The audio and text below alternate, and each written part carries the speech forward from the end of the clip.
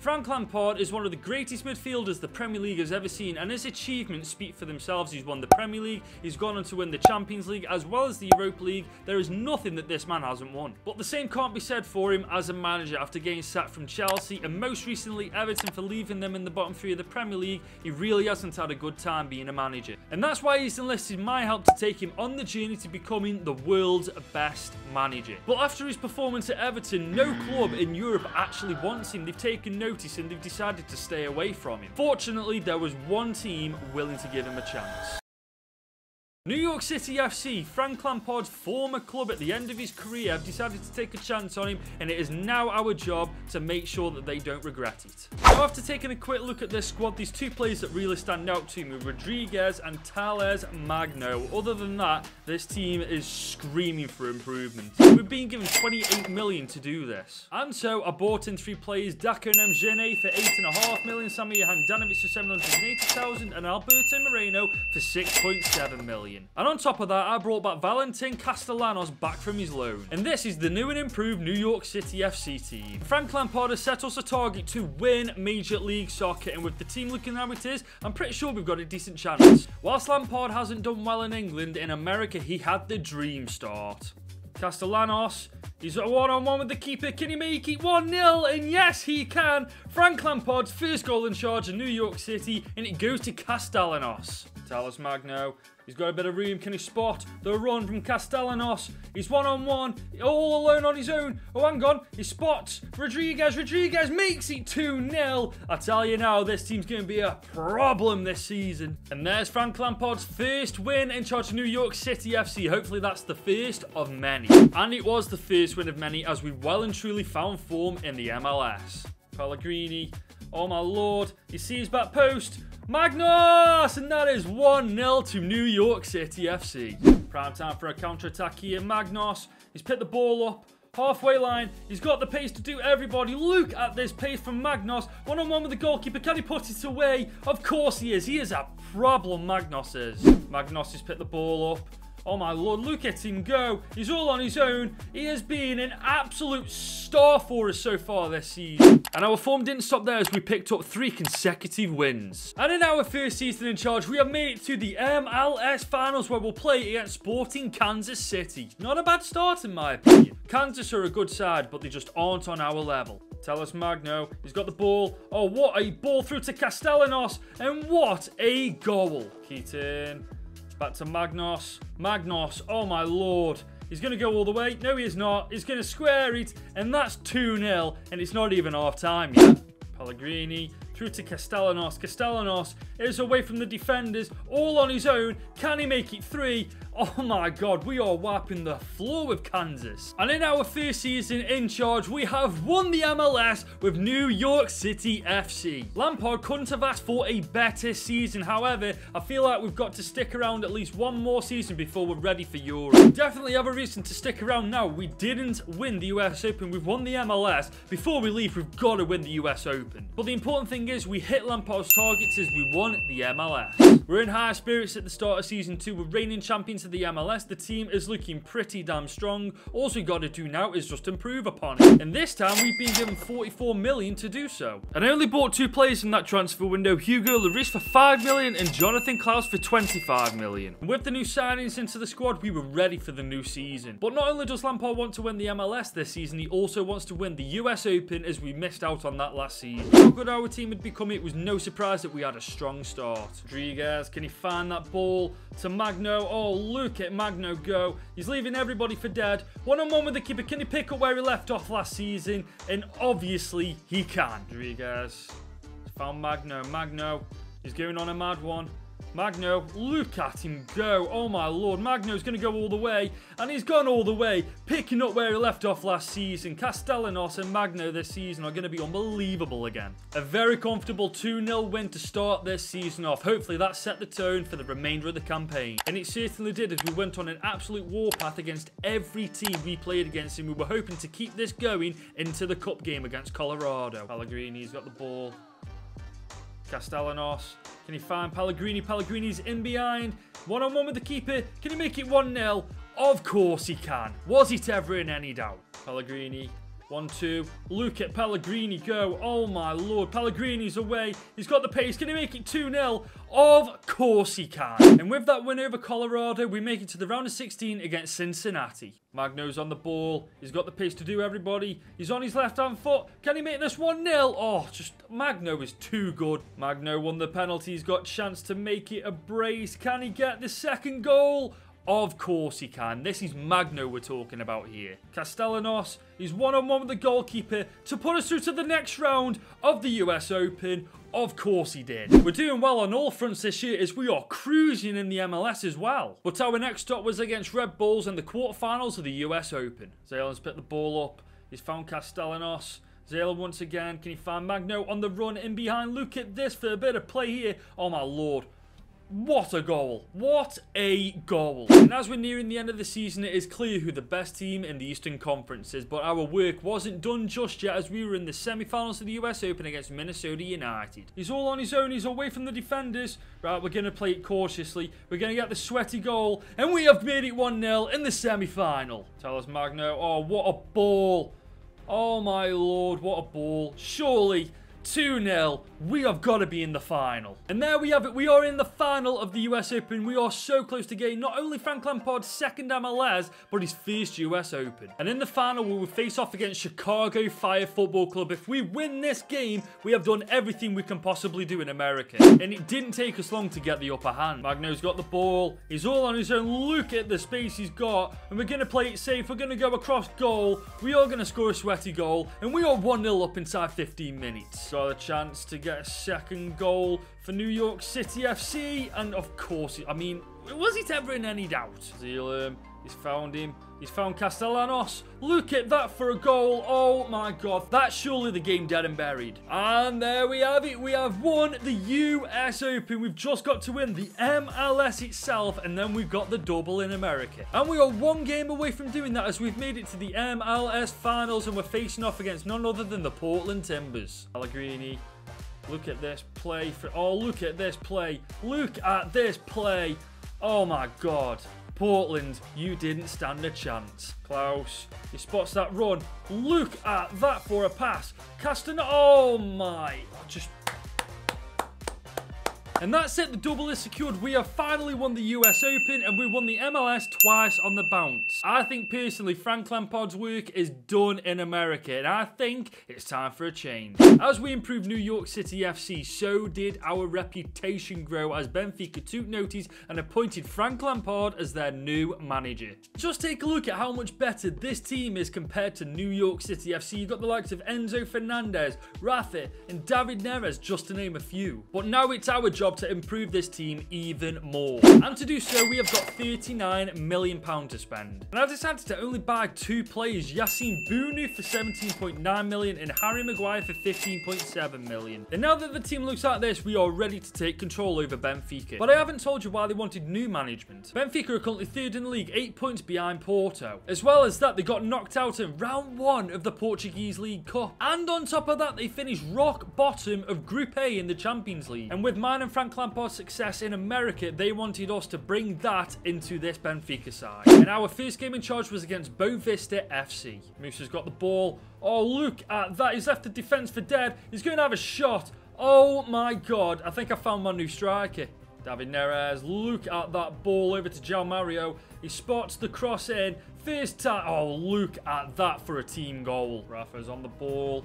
He's got the pace to do absolutely everybody. Look at him go. He's left everybody for dead. He's going to make this 3-0 it was never in any doubt. As soon as he was away, it was a goal. And there's the first three points as Benfica manager in our back pockets. Frank Lampard's debut as Benfica manager went extremely well. And hopefully we can keep this going till the end of the season. Because if you hadn't already noticed, our target this season is that title. David Neres into the box. Look at that for a goal. Musa, man. What a goal. Look at this from Musa. He's absolutely leaving the defenders for dead. One-on-one -on -one with the keeper, and that is never in a million years going to be a mess. João Mario on the penalty. Chance to take us 1-0 up, and of course he will take it. Man, we are just too goddamn good. But our biggest challenge was yet to come as we now faced off against Portuguese giant Porto. But Porto were far more up for it than we were. Oh my god, Pepe's through. The through. Oh my god, no! That is not the start we needed, Porto. I've just run right through our defence. Kevin Volland with the free kick.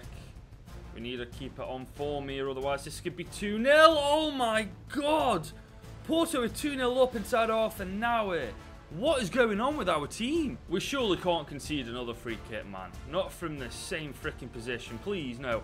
Oh my god. We are getting torn apart by Porto. We've just lost 3-0 to Porto, and if I'm not mistaken, that's Lampard's first loss as a manager since we've been helping him out. Hopefully, this isn't one of many, though. And that loss proves significant in the end as Porto do go on to win the league by four points. We did finish second, however, but next season, we want that title. We didn't win the league, which means we didn't hit the target that Lampard set out for us at the start of our tenure as Benfica manager. However, there is always next season. So looking at the team, we need to improve this defensive lineup. As good as as it's been in the past season, if we want to not only challenge for the league, but the Champions League this season, we definitely need to brush up on that defence. And I bought two players in that transfer window, the first one being Matthias Ginter for 29 million, and also Adria Pedrosa for 25 million as well. And with the team looking like this, we were primed for a new season. The objectives this year set by Lampard are very bold. He not only wants to win the league and the League Cup, he wants to reach at least the semi-finals of the Champions League. I know we've been doing pretty well, Frankie Boy, but we might be biting off a bit more than we can chew. But in our first game, we face off against reigning champions Porto. Are they going to once again absolutely dismantle us, or is it going to be a different story?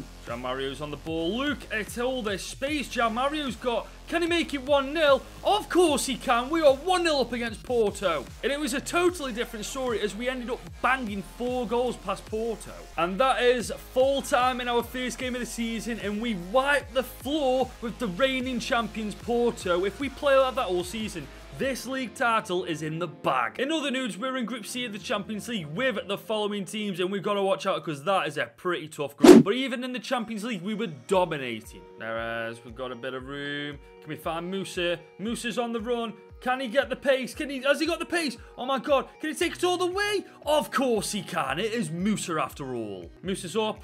He's got David Neres with him. David Neres, Florentino, sorry. And we're back to Musa. And Musa makes it 2-0 even in the Champions League. It didn't matter who we played at this point. We simply couldn't stop winning. Halfway through the season, we found ourselves top of the Portuguese league. As well as that, we've topped Group C, even beating Barcelona to that top spot, where we'll now face off against OGC Nice in the round of 16. And trust me when I say we taught them a lesson in football. David Neres, he's passed it to Musa. Musa, can he find Neres on the return? Yes, he can. Neres is in behind. Can he find... Oh, my Lord.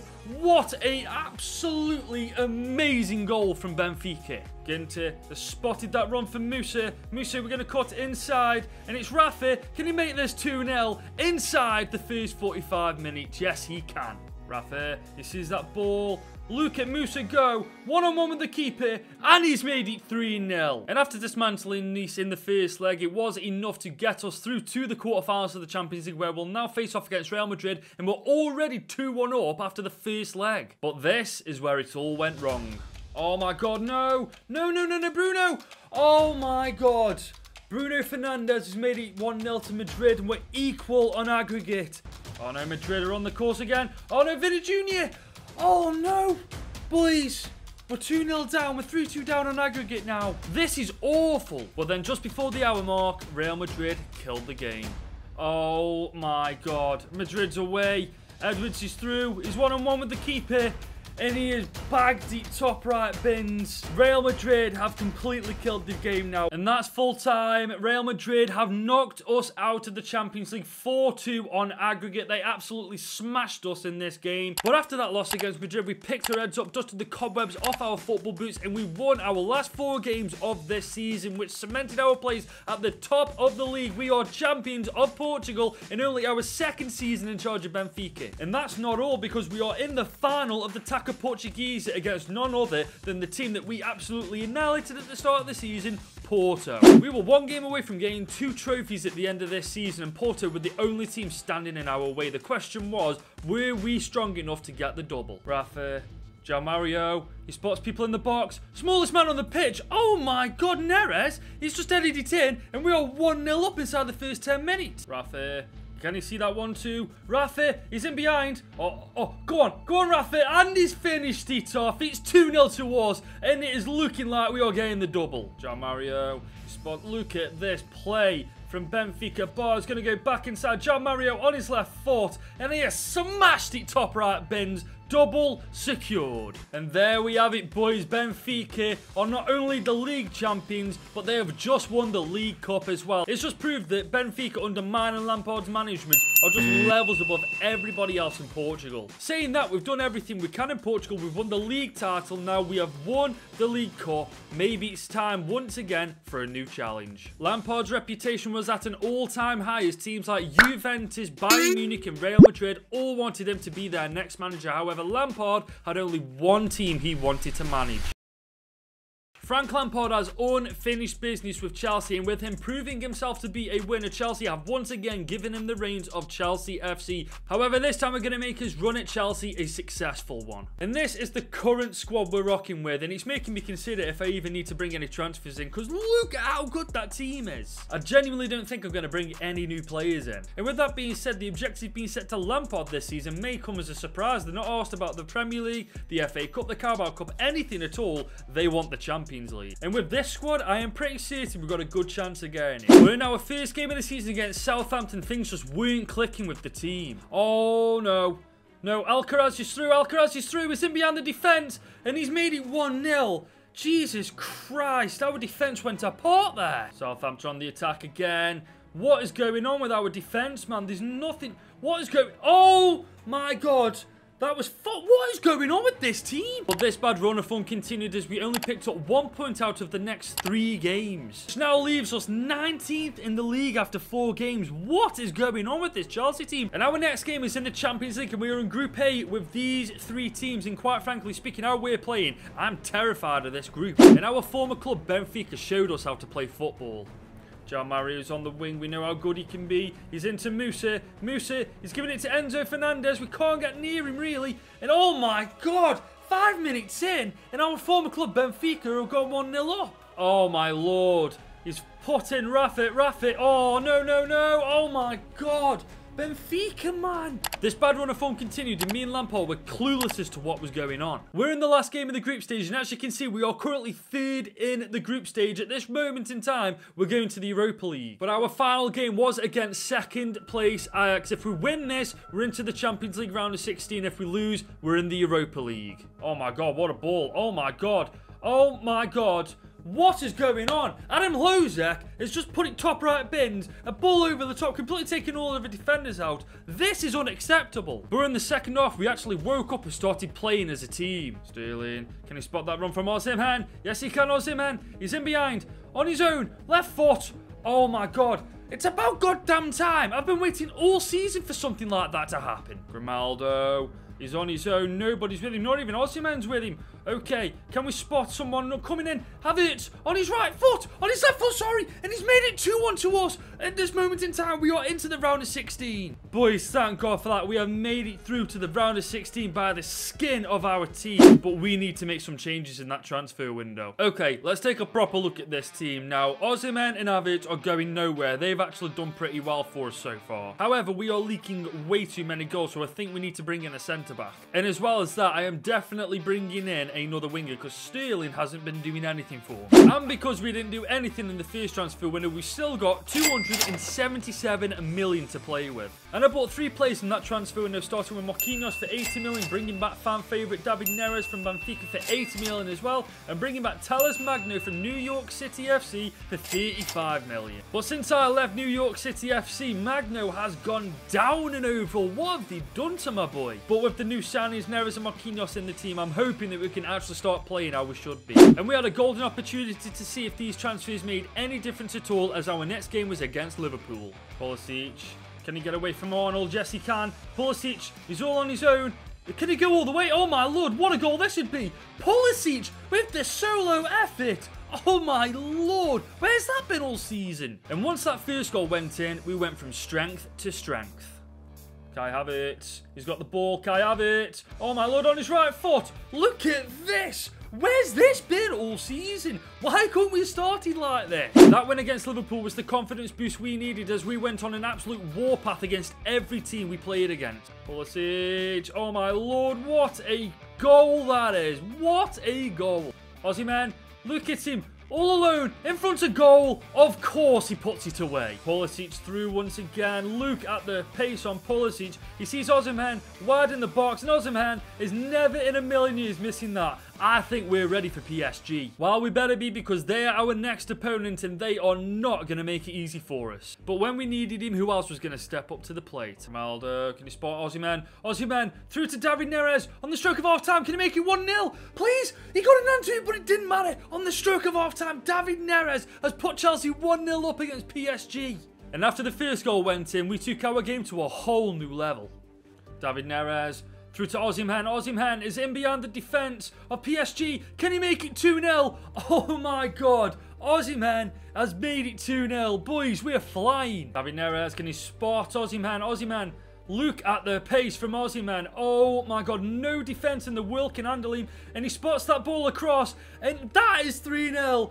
83 minutes in. Is this enough to put us through to the quarters? And after that PSG win, it became apparent that we'd finally found the system that works as we couldn't stop winning. And it looks like that first win over PSG was enough to put us through to the quarterfinals where we'll face off against AC Milan and we've already taken a 3-1 lead in the first leg. But that didn't mean we couldn't destroy them in the second leg too. Oh my god, he's surrounded by AC Milan players. Can he make this shot count? Of course he can. This man is absolutely unstoppable. And considering we're not focusing on the Premier League this season, we're still second place. We're not doing too bad at all. But up next in the semi-finals, we faced off against London rivals Arsenal. This is a game we could not afford to lose. Pulisic. Can he spot that run from Osimhen? Osimhen inside. Kai Havertz to make it 1-0. And he has taken that opportunity. Arsenal put up a great fight, but they just aren't in our league. David Neres, can he spot that run from Osimhen? Osimhen is in behind. He has got so much pace. He's got Havertz, but I think he's going to go all the way. And he doesn't need Havertz. He's topped that into the goal, bottom left corner, and it is 2-0 to us. And then late in the second half, we killed the game dead. Pulisic with the return. Look at that for a ball. Pulisic is away. Can we kill the game dead here? Yes, we can. Arsenal 1, Chelsea 3. Is this enough to get us to the Champions League final? Boys, it's official. We have made it to the Champions League final. We're facing off against Liverpool. We are one game away from making Frank Lampard the world's best manager. The question is, boys, can this bunch of legends right here beat Liverpool to make it happen? Have it. David Neres is on the ball. David Neres. Can he find anybody in the box? No, he's going to go alone. Can he? Oh, that's a great save from Alisson. Kai Havertz. Back to David Neres. David Neres. Can he spot that run from Osimhen? Osimhen is in behind. He's in behind. Can he make it 1-0? Oh my god, Alisson again. Ball in. Great ball. Can we get head on this? Can we get head on this? Oh my god, man. That has to be on target at least. But for all the saves Alisson made, he couldn't save everything. David Neres to Osimhen. Osimhen is in behind. Can he spot Havertz? Havertz, all on his own. He's put it into the goal. Bottom left corner. Pit that out, you net, Alisson. And in the last five minutes of the game, who else was going to step up to the plate? Oh, Goretzka He's found David Neres. He's all alone. Last five minutes of the game. Can David Neres make Frank Lampard the best manager in the world? He looks like he might have just clinched it for us. In the end, Liverpool have got five minutes at best to get back into this game. But that goal from David Neres has surely secured Chelsea the Champions League. Ladies and gentlemen, it is official. Chelsea are the champions of Europe and Frank Lampard is the best manager in the goddamn world. And if you enjoyed this video, you'll enjoy this banger right here.